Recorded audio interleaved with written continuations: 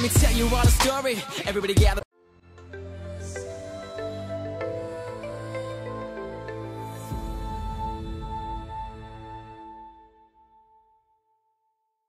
Salve a tutti ragazzi, io sono Andre dello staff di Ultimate Team FIFA Italia.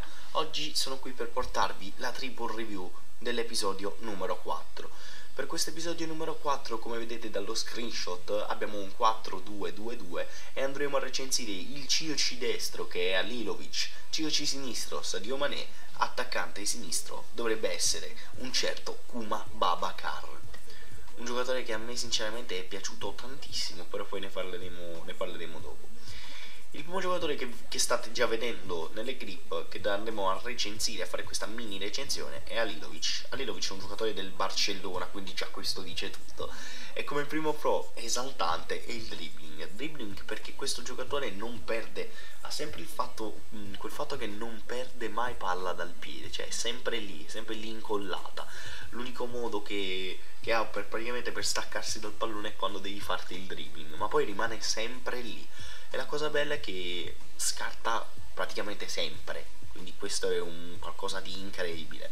Ha anche 4 stelle skill, quindi anche per gli skiller oppure uh, a chi piace fare um, de derivate skill, questo giocatore dovrebbe andare benissimo. Al dribbling si va ad aggiungere anche l'agilità, che va a compensare praticamente questo dribbling, va ad aggiungergli qualcosa in più, perché ci sono molti giocatori che hanno parecchio dribbling ma hanno poca agilità e dopo un po' diciamo risulta masticante comunque scartare gli avversari. Mentre con Alinovic il problema veramente non si pone. Penso che sia uno dei migliori mh, dribblatori in questo fase 16 che io ho provato a quel prezzo perché non costa nulla costa 1500 crediti ed è qualcosa di incredibile unico contro che ho riscontrato serio è il posizionamento posizionamento perché alcune volte durante la partita state facendo un'azione, lo andate a cercare e Alilovic non è lì. Probabilmente questo alcune volte vi farà, diciamo, vi farà rosicare, però posso assicurarvi che comunque Alilovic compenserà uh, questo contro con tantissimi gol straordinari. Il secondo giocatore, come state vedendo dalle clip, è Babacar. Babacar è, è indescrivibile perché la cosa che mi dà fastidio è una, Babacar uh, è fortissimo, io lo reputo uno dei migliori attaccanti della Serie A su questo FIFA 16 perché ha delle statistiche incredibili però viene usato pochissimo, viene usato pochissimo perché è un oro non raro, c'è molta gente che ragiona è un oro non raro, non lo prendo nella mia squadra. Per quanto riguarda Babacar non ho potuto utilizzare soltanto, eh, diciamo non potevo non utilizzare più di due pro, quindi ho deciso di raggruppare in una parola tanti pro uomo d'area di rigore. Con uomo d'area di rigore intendo la finalizzazione, intendo il tiro a giro, intendo il colpo di testa, intendo il fiuto del gol.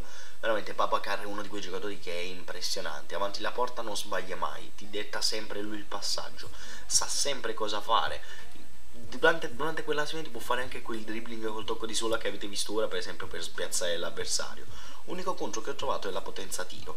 Questo contro l'ho trovato più che altro quando provavo a fare i long shot, perché ora vedete una clip, eccola qui, che dentro l'area ha una potenza tiro incredibile. Mentre nel... Um, quando vado a fare i long, quando sono andato a fare i long shot, diciamo che mi sembravano apparentemente troppo deboli i tiri, quindi i long shot li andavo a fare con il tiro a giro e ne sono venuti un paio veramente carini, peccato che non ho segnato, se no lo avreste visto. Il terzo giocatore è Sadio Mané. Mané non l'avevo mai provato, che voi ci crediate o meno, era la mia prima volta.